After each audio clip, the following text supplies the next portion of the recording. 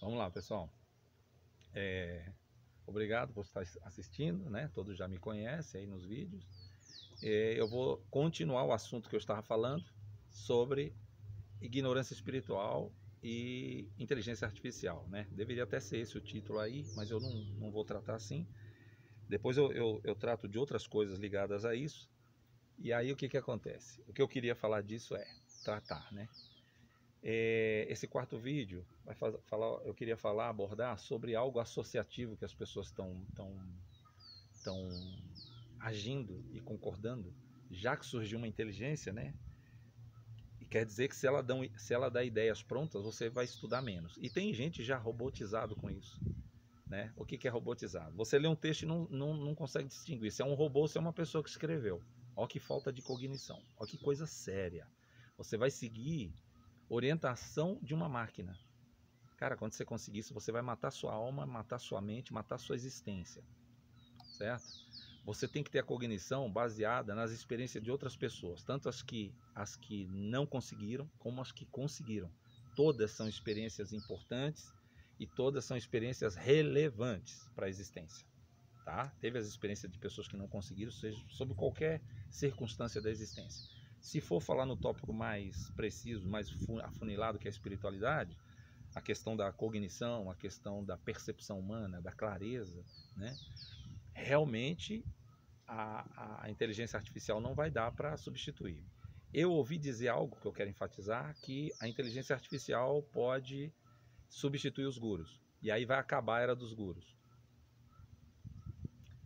É, a era dos professores vai acabar com algumas áreas, como eu falei nos outros vídeos, história, geografia, coisas que você já lê na internet. Você pode saber geografia sem ir na escola. Você pode saber história sem ir na escola. Algumas histórias, né? Ainda tem histórias que são preservadas na língua original. Se você lê Islã e quiser aprender bem a história do Islã, é melhor que você aprenda o árabe para que você entenda melhor. No sânscrito também tem línguas que está em hindi, tem coisa que está em marathi, tem coisa que está em punjab, tem coisa que está em prakrit, tem coisa que está em tamil. Aí você não vai aprender só no inglês, vai aprender em outras línguas. Mas no geral é o inglês. Bom, quando alguém comenta que uma inteligência artificial pode substituir um guru, os gurus da Índia, é verdade? Não é verdade? Eu concordo, não concordo? Você concorda, não concorda? Não é a questão de concordar ou não. Aí entra, aí entra a diferença. Se eu tenho cognição ou se eu tenho condicionamento. Como é que a inteligência artificial vai beneficiar essa pessoa que afirma isso? É porque você que fala isso você se baseia em conhecimento condicionado, no condicionamento da coisa, chamando isso de conhecimento. Sabe como é isso? Vou te falar uma história antiga da Índia, como ela refuta isso bem fácil, mas bem fácil. Você olha para a Lua, você vê lá a Lua, o astro, e você olha para um lago e vê o reflexo da Lua. Essa é a comparação usada antigamente sobre conhecimento e reflexo do conhecimento. A artificialidade é o reflexo. E o conhecimento? uma pessoa que tem conhecimento, que é fundamentada, que tem cognição, que tem certeza, que maturou, esse é o astro, é a lua real. Ali é a realidade da lua e aqui do outro lado é o reflexo daquilo, da realidade. Então você tem um reflexo do conhecimento, que é baseado numa inteligência artificial onde você afirma, você gosta de afirmar um monte de gente por aí e gosta de ir lá no textozinho artificial do robô pesquisar e querer assimilar como uma verdade. Hoje, os novos cursos que tem por aí, uma parte, se olhar bem os textos, eu tenho quase certeza que tem texto sobre é, descrito por um robô. Como você é educado por um robô, você não sabe a diferença. Você já morreu. Você não tem cognição, você não tem distinção, você não tem discriminação, você não tem a mínima inteligência humana. A sua é condicionada a um robô, ao que ele te responde.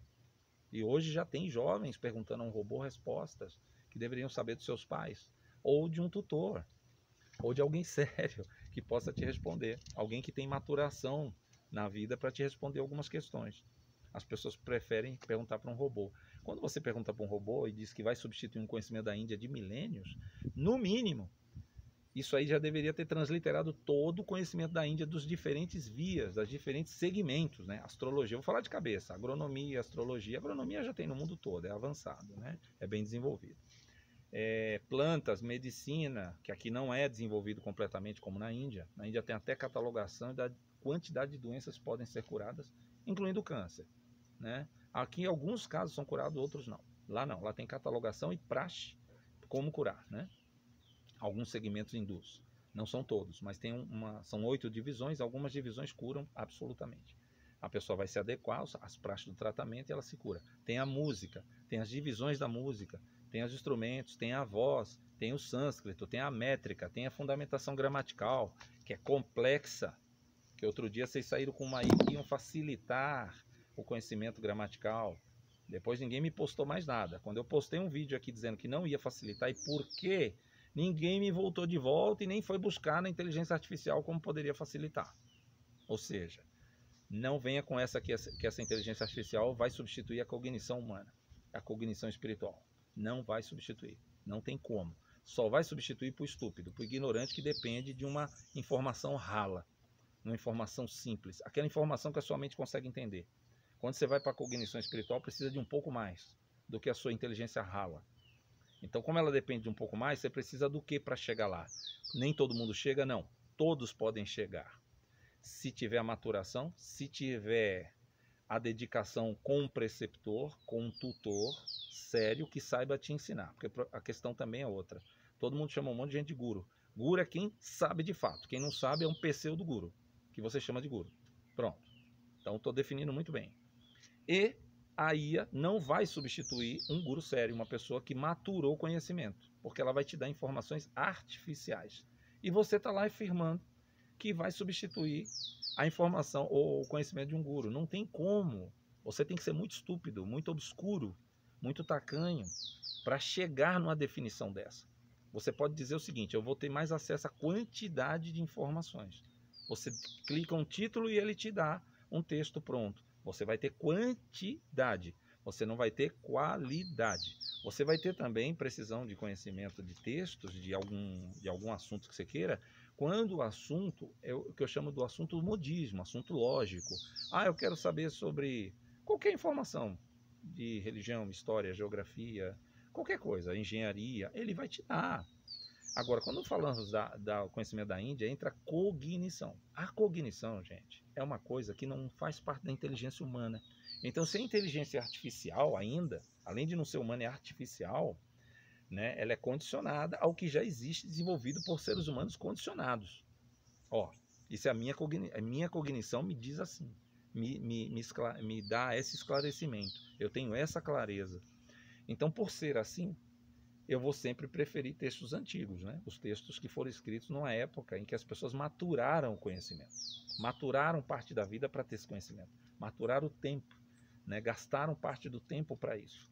E é por isso que é diferente né? de, de uma coisa que eu chamaria artificial e que não tem a maturidade, não tem a maturação humana dentro daquilo. Tá certo? O que não tem a maturação é lamentável. Ela vai servir, como eu disse, ah, eu quero lançar um produto. Ah, eu quero lançar uma, uma, como é que chama? Uma, eu quero lançar um curso de meditação em massa e aí eu vou criar um texto artificial que todo mundo lê, entende rápido. Aí eu não preciso de cognição, eu não preciso de fundamento, que é o que todo mundo faz. Pega isso aí. Agora, quando você quer ir para a Índia antiga, quando você quer ir para um conhecimento que tem fundamento linguístico, filosófico, você precisa da cognição humana, criatura, criatura obscura. Você precisa. Você está entendendo? Você não pode ser tão obscuro de imaginar que ainda foi desenvolvido de qualquer jeito. E muita gente ainda imagina isso. Ah, é desorganizado, ah, é sujo. A sujeira da Índia, a imundície, a porcaria não tem nada a ver com a tradição da Índia. Onde tem a tradição da Índia tem asseio, tem conhecimento, tem perspicácia, tem diplomacia, tem educação, tem limpeza, tem higiene, tem cognição humana, tem erudição, tem fundamento, tem tudo. Não tem imundície. Você vai atrás da imundície. Imundice, imundice de informação, imundice de hábito. Você fica olhando o lado ruim da coisa. Você não olha o lado importante, o lado, o lado que fundamenta. E por isso você fica aí, né, na sua ignorância. Tá certo? Você fica aí na sua ignorância, bebendo de outro ignorante que vem te dar um curso de fim de semana. E você vai acreditando, ou seja, é condicionado pela religião cristã acreditar, sem fundamentar, só acreditar. Se é ruim, bom, isso aí não vem para tua mente, você só acredita. Você vai lá e faz o curso e paga para um fim de semana achando que aprende no final de semana. Não aprende. Ó, de novo, não aprende e, de novo, não aprende. E nunca vai aprender. Porque se tivesse que aprender, você já teria aprendido em décadas de gente ensinando aqui no Brasil. Você já teria aprendido. Por que, você não aprendeu? Por que você ainda fica atrás de texto artificial? Você fica atrás de texto feito por uma, uma inteligência artificial porque você não sabe. E você não quer aprender. Se você quisesse aprender, você não ia atrás disso daí. Entendeu?